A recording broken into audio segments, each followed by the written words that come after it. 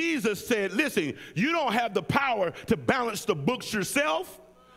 Amen. So God says, since you can't balance it yourself, I'll send Jesus. And listen, you've been separated from me. That means that, guess what? When I do my books, because there are books, there's the book, and then there's books.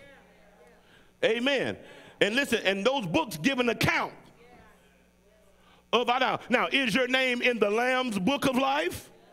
But the angels are chronicling in the books. Every day that you live, there's somebody scri- uh, transcribing your life. And every time you remit, repent, they have to rip the pages and start over. That's why repentance is so powerful. And it's not like your computer where the FBI can go back and find your deleted files.